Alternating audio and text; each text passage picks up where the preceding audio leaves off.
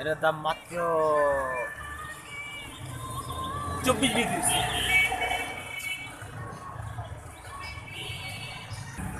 চব্বিশ লাখ টাকা